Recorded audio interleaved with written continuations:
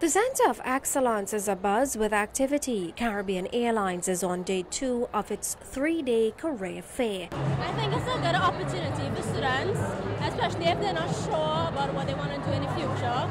There's no rain in the forecast as young forecaster Rain Bowman keeps herself occupied at our CCN booth. Went to a really informative workshop about AI and how Trinidadians are actually leveraging AI. Because, you know, I was thinking, you know, you know, we're kind of third world, we're a little behind, but no, we actually have firms in Trinidad that do utilize that first world technology we see all the time and are actively um, helping Trinidadians, de- decentralize is the word he used, disperse the technology to all communities in the island. Thousands of students made this place look like a jungle, but Malabar Secondary's safari assures us there was no monkeying around. I think that's a good opportunity for young teenagers now going to finish school and think about a career, what I want to do in life.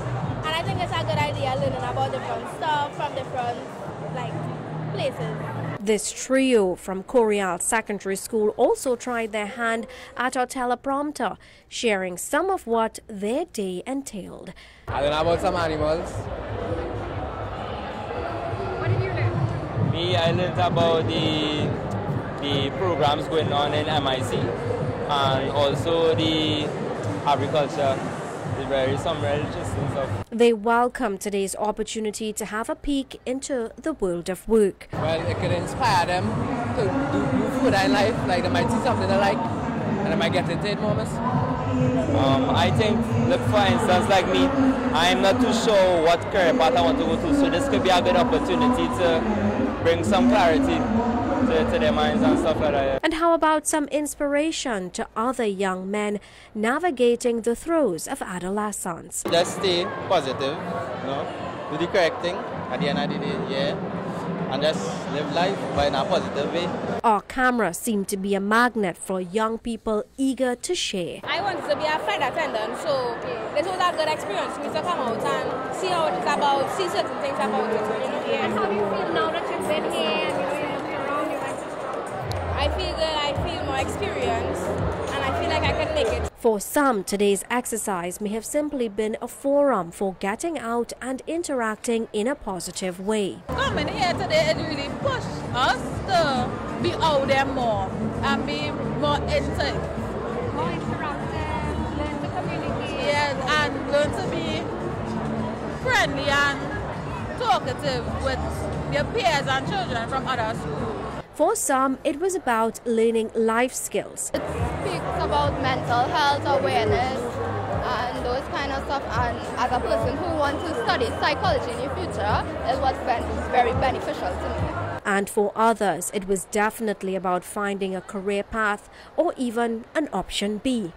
Growing up, I was wanting to be a footballer, but I didn't know if football didn't work out, what else I would I get into. So but now I saw it at a Coast Guard service and you know I think I would like to get into any one of the services.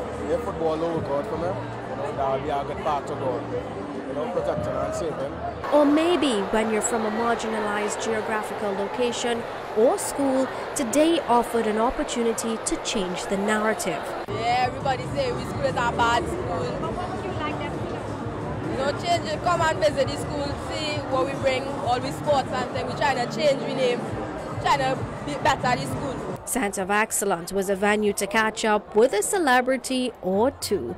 Take this familiar face, for instance, a driving force behind the event, which proves to have a little of something for everyone. The future is here. We are engaging with the future of Trinidad and Tobago and by extension the region education is one of the pillars of Caribbean Airlines sustainability program. We have education, community and wellness. And while the focus is education, it's also about community. The career fair saw participation from all the secondary schools in Tobago. Students and staffers were flown in by the national airline itself. We expect in excess of 8,000 students over the three-day period from 99 schools. I suspect by the time I count tomorrow, there will be more than 99 schools because we have, there were some late registrations. With scores of the country's top employers under one roof, Ligoure tells us CAL's main aim is to ensure students take away a positive experience that will be memorable for the rest of their lives. Because you never know the kind of impact you can have on somebody's life, positive or negative. But the aim is for us to have a positive influence on these children. Let them know that you can aspire. Let them know what is available, what is out there, so that they can plan and live fulfilling lives and become good citizens of Trinidad and Tobago and the region. Each year's event seems to top the last, and Ligoure tells us she has a major trump card for 2025 with a focus always on young minds. Urvashi Tiwari, Roopnarine, TV6 News.